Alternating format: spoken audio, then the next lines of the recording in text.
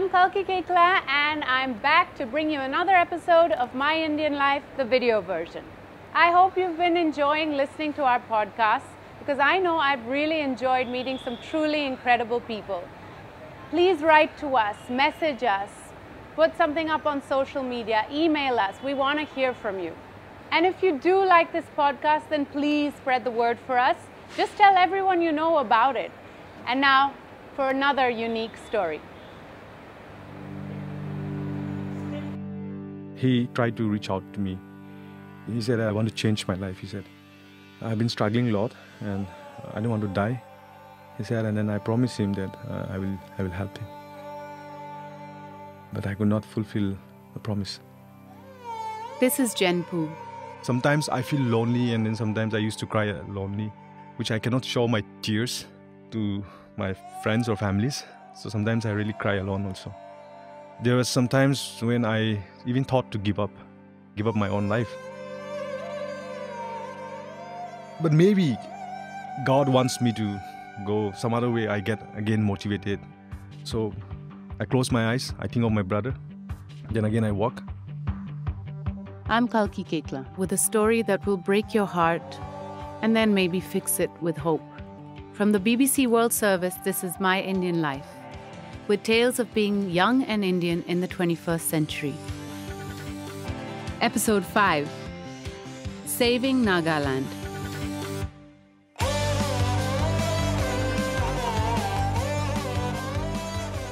So, Jenpu comes from Nagaland. Nagaland is a very, very beautiful place, full of young people who have a lot of dreams. We always think of the Northeast as different. Why does that happen? It happens because of the looks. We have different looks from the rest of the Indians.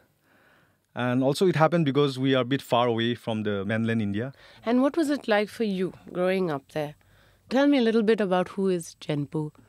Jenpu is a guy who grew up in uh, an environment where I've seen a lot of people who are into alcohol. A lot of my families are selling alcohol, and I had a very beautiful, you know, and happy life also in my childhood days. But so many things were happened, you know. I lost all the smile, all the love, all the things which deserved by a person didn't get to me. So I would say my life was not like uh, uh, other child. I was beat into situation, into struggling. You said you were first a happy child. Do you remember when that changed? Why it changed? So my father, my mother got married and they didn't have a place to stay. So they were staying as a tenant in my uncle place. So I, I was born there. So my uncle and auntie, they don't have a child. So they got so close to me and I got so close to them. They kind of adopted me. So I How become- old were you? This At that time, I was two years old when I was so got connected with them. So my uncle expired. It was in a class eight or nine, and then uh, my auntie also has to stay alone, and then she also expired, and I have to move back to my parents. I know I don't want to move back to my parents because I know the condition of my parents were very bad. Jenpu's community has a lot of problems isolation, poverty, and a big one alcohol and drug abuse. Jenpu saw the impact of that abuse at close quarters. My dad was an alcoholic. He always beat my mom As a child, who always has the expectation that the parents and father will always take care of their child. But I, I knew that it would not happen. हाँ, अफसोस तो बहुत लगता है अभी खास करके हमारा जिम्पू जिम्पू के बारे में सोच के हम This is Jenpu's dad, Bohem Long. He says, I couldn't do anything for Jenpu, nothing at all. His voice breaks as he talks. जो वो काम अभी कर रहा है Whatever Jenpu is doing today, it is totally him, he says. A single handed pursuit. What he himself could not do during his childhood, he now wants to ensure that other kids are not deprived likewise. We'll get to what Jenpu is doing today later, but I wanted to understand more about this childhood first and his family. What work were they doing? My mother was selling alcohol to feed us. Mm. A lot of hard work. I'm sorry. No, don't worry. Itu টাইমতে tala baba bi kam nai service nai. মই পারাহি মোক হাম পারাহি মিলি কিনে This is Jenpu's mother, Nuhukulu Raho. She says she had to beg for support from relatives and friends. I had five kids and I couldn't pay their school fees, she tells us. The principal would summon me to school and give me an earful. Education we could not complete. I, I drop out in class 9. My elder brother also, he could not appear class 10. And my younger brother dropped out when he was in class 8. But I'm happy that at least my mother tried her best. She could help us to reach that level. The children of alcoholics have a very tough time. And that was certainly true of Jenpu, whose father drank. But Jenpu doesn't blame his dad. And now has your relationship with him changed? No, it's it's good because I did my best to be close with him. He's a sick person now. He's all, so I forgive him. I always want him to be the best dad. So I'm also trying to get close with him and telling him to take part, uh, take the role of a dad. Jenpu feels gratitude for whatever little his parents could provide and worked hard to achieve. Jenpu completed his class 10 with Open School by working with a company selling perfumes door to door. Open schooling is basically a flexible education system that allows learners to learn where and when they want, physically away from a school and a teacher. That's what Jenpu did. But his younger brother David became depressed and took to drugs. I know that my brother's condition was really going bad to worse, but so sad that my father could not understand that. Did Uh, your brother try to reach out to your family members? He tried to reach out to me. I want to change my life, he said. He said that I've been struggling a lot and uh, I don't want to die. I want to change my life. And then I promised him that I will help him. But I could not fulfill the promise. Before helping him, he passed away.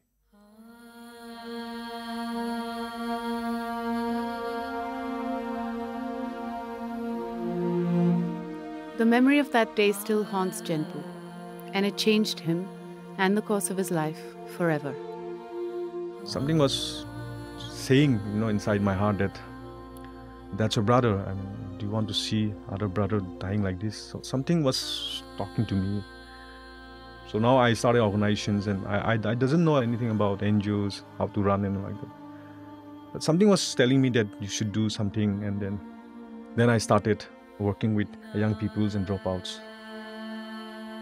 Jenpu founded a community network, Can Youth from Dimapur.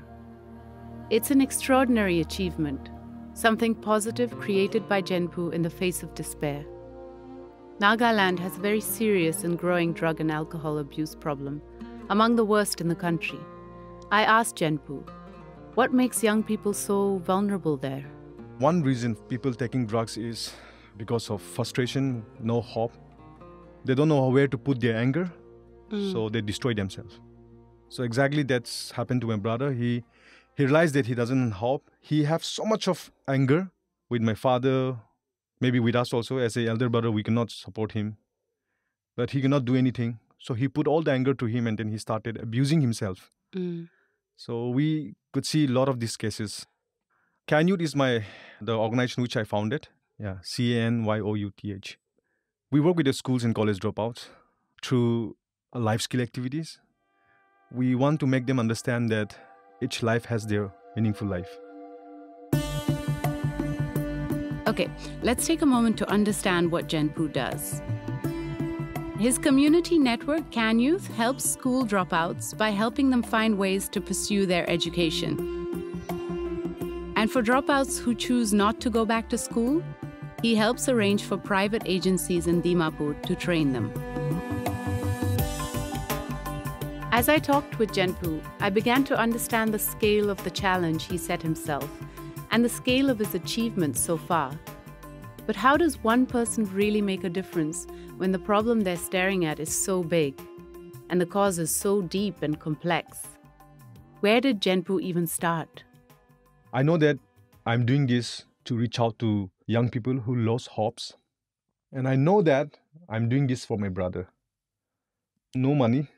What I did was um, I went to some uh, big people from within our community who are uh, leaders, public leader, who are from rich families. I remember that I went door to door and I started collecting money. Jenpu had the right ideas, but he needed the means to make a difference. That's when he met Father Jerry. Uh, one of my friends told me that there's one fellowship in Delhi, so you should apply for that. And they have a grant also.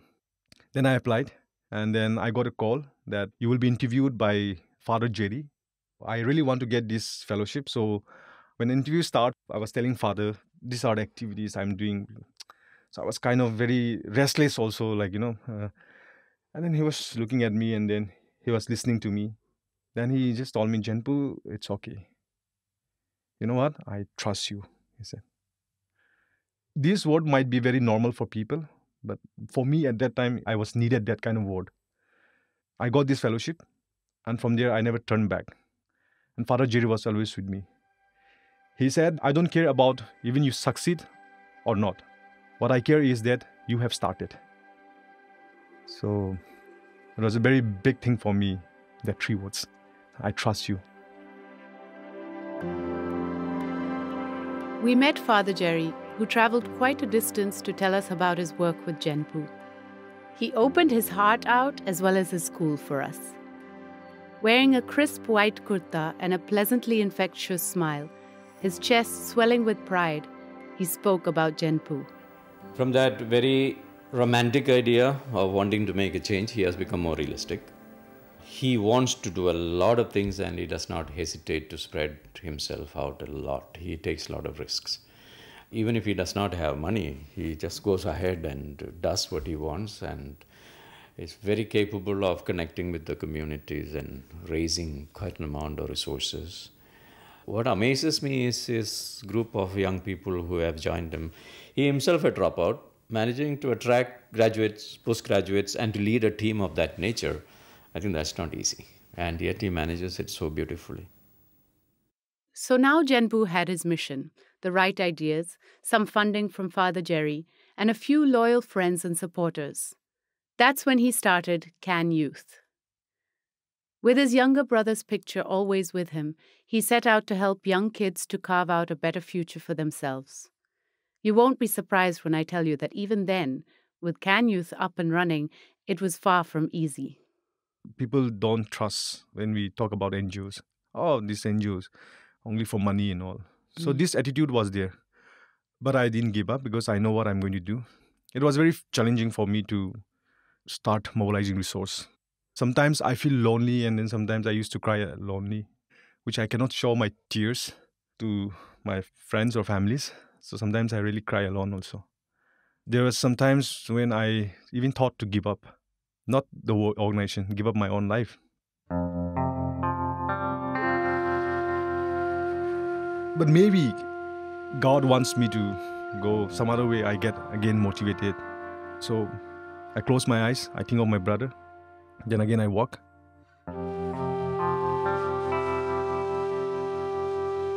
Through Jenpu's irrepressible persistence, Can Youth started gaining momentum.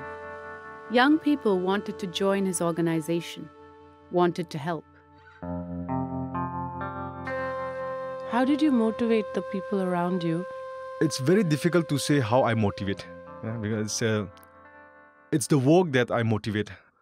Motivation is not something that we have to design. It's something comes from the work. I never try to motivate people. I always focus on my work. So maybe that my genuine work actually motivated them. There was a lot of volunteer also turn up from the schools and colleges to volunteer us in my organization.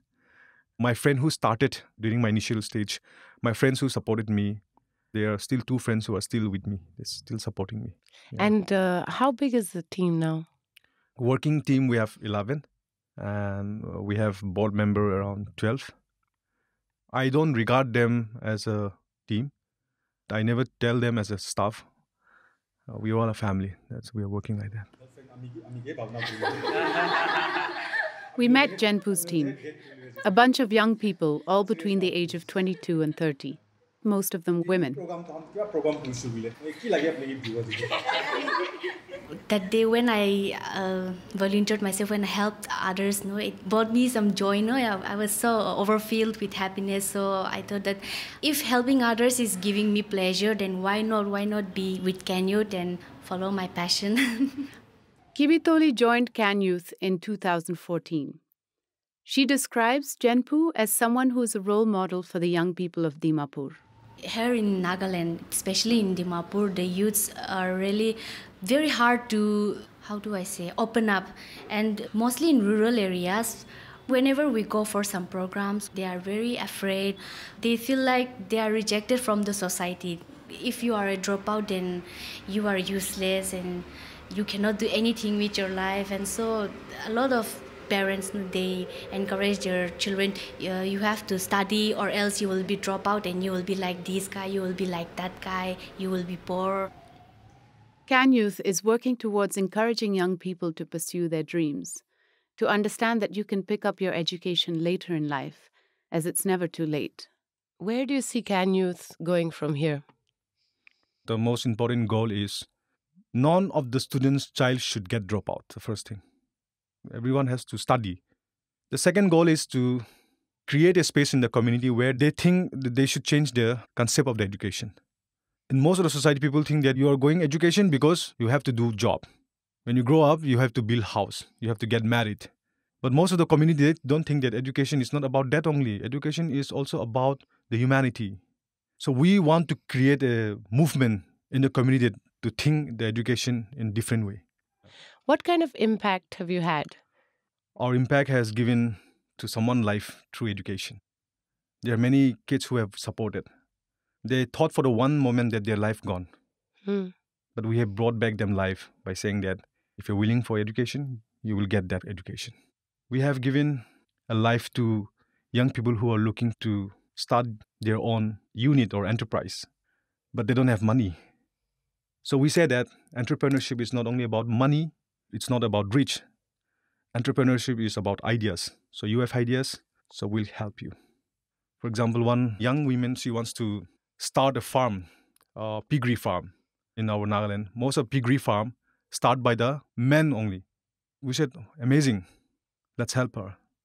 While helping her, we are also making impact of helping each other should always be there we are also creating that kind of values of supporting and helping each other. His eyes sparkle with ambition as he talks about how he wants to help young people in the Northeast. But nothing worthwhile is easy. The challenge is, especially in the Nagaland, in the Northeast sector, CSR doesn't want to invest much money there. Corporate social responsibilities. Why is that? I don't know the reason. Maybe because Northeast doesn't much, we don't have much market value. But I think if CSR is really concerned for the impact, then I think they should not look for the market because CSR need to work for the society. So maybe this is the reason, and government doesn't have time to work along with the NGOs, most of the government. Jenpu says the people of the Northeast are often overlooked and underestimated.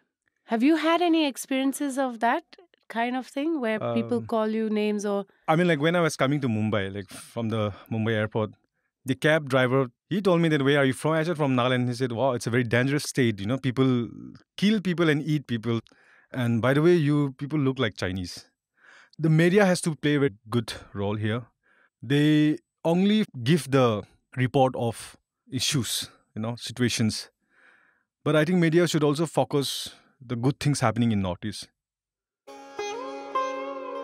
Jenpu's journey is inspiring to me because he has never given up never been constrained in his ambition by the circumstances of his birth and his upbringing. And he is not afraid to fail. It made me think how there's so much pressure in our lives to succeed. Failure is not the problem. The problem is when you stop trying. So never stop trying. If you think about it, from when you were in kindergarten to the 10th board exams, the race to ace an exam, the taboo of failing an exam. Our conditioning is towards success and not failure. How often are we prepared to handle failure? Never. And that's where Jenpu defied conventional expectations. He faced failure and he persevered. He now wishes to inspire others to do the same.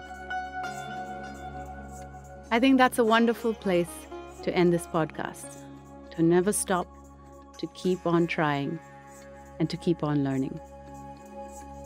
A big thanks to Jenpu for sharing his story with My Indian Life, an original podcast from the BBC World Service. You can get our other episodes from this season and from season one free wherever you get your podcasts. If you want to support us, good news. You can by subscribing, reviewing us, and telling your friends about us. And we want to hear from you. What do you make of Jenpu and his struggle? All you have to do is send an email to myindianlife at bbc.com. Our producer Ishleen has been looking at some of your recent messages. Last week, we teamed up with Mercy Haruna from the BBC's Parentland podcast. Kalki talked about all the things going around her head as she gets ready to become a mother. Lots of you sent your love to Kalki. So, thank you, Vikram, Ria, Ramu, Nihar, Nishan, Manish, Divya, Sarayu, Himja, Stephanie, Vikram, Ishwinder, and so many more of you. Narsimha says, I became a dad recently, and pregnancy is indeed a roller coaster. Huge respect to all mothers. Larissa says, pregnancy is not easy, but it is such an amazing journey into motherhood. And Niladri says, drink plenty of water and eat roasted frogs. Hmm. I think Niladri Kalki will have to pass on that one as she is vegetarian. Thanks again, everyone. So, if you're a mum, dad, uncle, auntie, grandmother, or grandfather, you should definitely check out the Parentland podcast.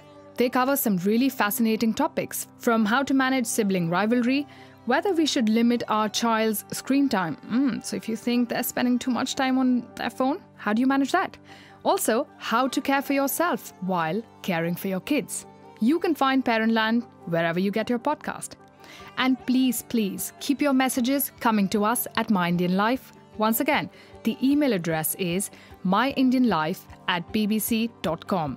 Or you can share your thoughts on social media using the hashtag MyIndianLife. Next time on My Indian Life, I was uh, sipping coffee, looking outside, looking at the Empire State Building, and I called up Ammi back home in India. I made up my mind that my education, my experience, my talent, it's not meant for running after or chasing someone else's dream. I decided to come back. That's our next episode from New York to Shimla. My Indian Life is an original podcast from the BBC World Service. I'm Kalki Koechlin. Our producers are Ishleen Kaur and Prabjeet Bains. And thank you very much to our editor, Richard Penton Smith.